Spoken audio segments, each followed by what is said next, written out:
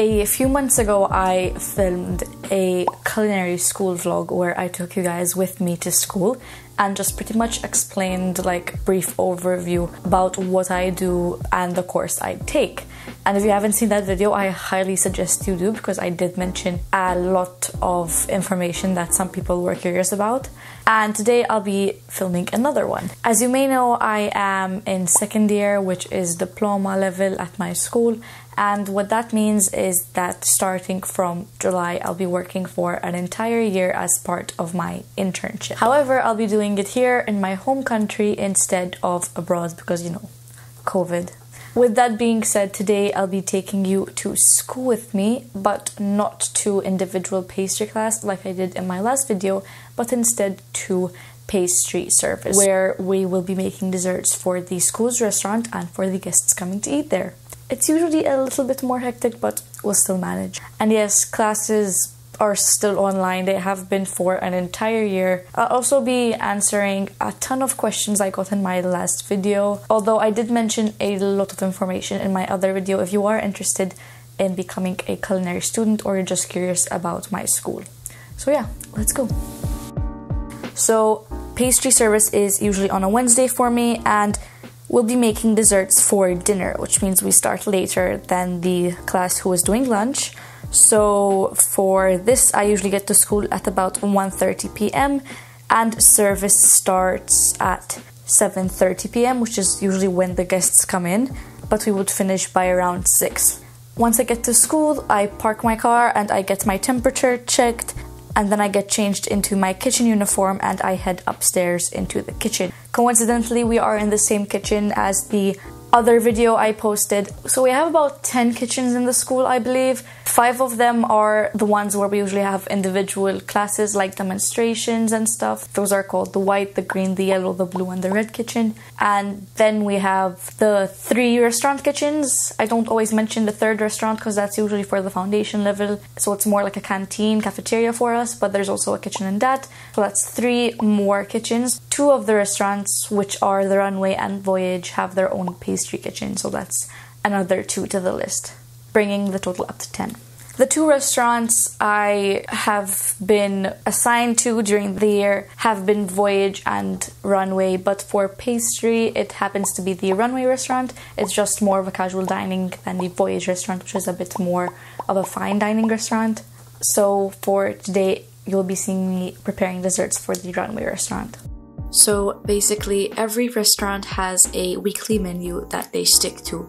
Every week, a new menu comes out, and for every day of that particular week, the same menu is done. Now, as for the two restaurants, which are Runway and Voyage, they have the same lunch menu, but the prices are different since one is fine dining and one is casual dining. For dinners, the menus do change because that's usually when there are higher level students, the more advanced students, the menus would be of a higher level as well. So the prices would also be higher. But pretty much just have an idea. Usually, for example, lunches at the runway are 10 euro, and then at the voyage, they're 10 on Mondays and 15 on regular days for lunches, and then at night for dinners, it's usually between 17 to 25 since the menu is much more advanced. My school, ITS, is part of the post secondary schools you get in either with your O levels or GCSEs. Although, if you don't have any, you'll just have to do an extra year, which is foundation level, where you learn all the basics and knowledge of everything.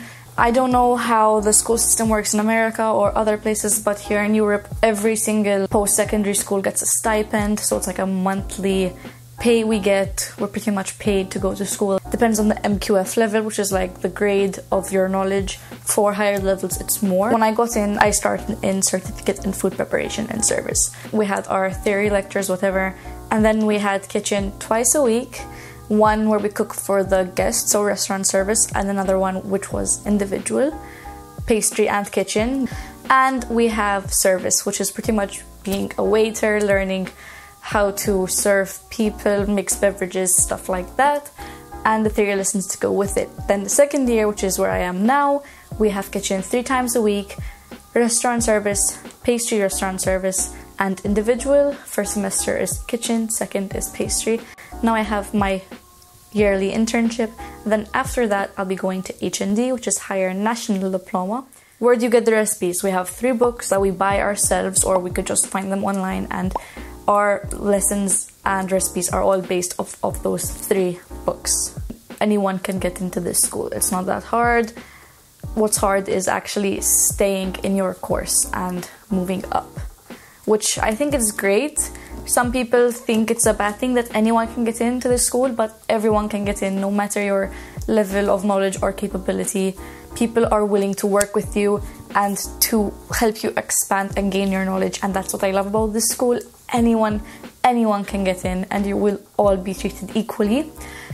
And obviously we, they will give you the supplies and knowledge to move on and it depends on you whether or not you want to actually move further on. So yeah i'm i'm extremely fortunate. I'm extremely lucky because here in malta most schools i just had to pay for the books and the uniform.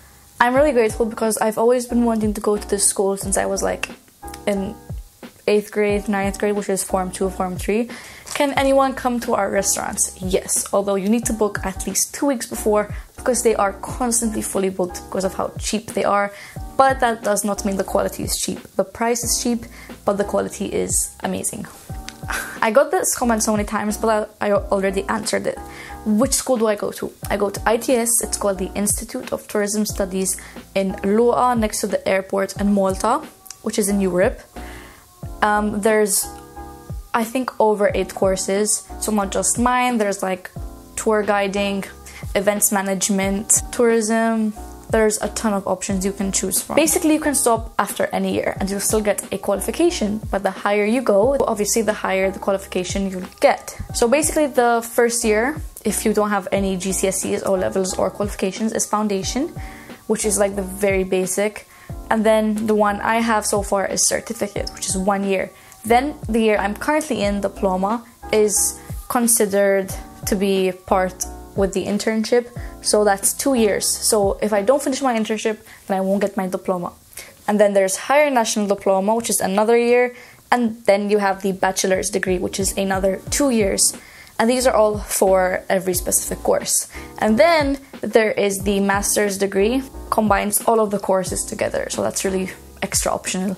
But if you really want to get your degree in your line of work and the course you're taking, then you'll have to do those six years. So you have the first year certificate, two years, which is diploma and the internship, another year, which is higher national diploma, and then two years, which is the bachelor's. So that's six years to get your degree, which is great if you start off from the age of 16, which you can go get into. I got in from the age of 17, which means if I keep on going, I'll get my degree by age 23. Wow, that sounds crazy. That's in four years. Obviously, my videos are made to look enticing, to make you be like, ooh, I really want to go there and stuff. But it requires a lot of hard work and motivation. So, if you like cooking, you'll probably like it, but you're not gonna like the working part because the school it's like makes you feel protected. It's nothing like working in the industry. But on the other hand, school is so much different from that. So you won't tell the difference until you start working. And obviously, th- these things go together. If you go to culinary school, you'll have to work in the culinary industry while you're at school because it's the only way that you will learn more. You learn the theory, practical stuff, but the real like tips and tricks and efficiency is learned through working. So yeah, most people drop out after about a year or two because they realize it's not what they want or it's too stressful. Another thing you'd have to purchase is a set of good quality knives. These will rack up to about 100 to 200 depending on the quality, but that's all you need when getting into the school.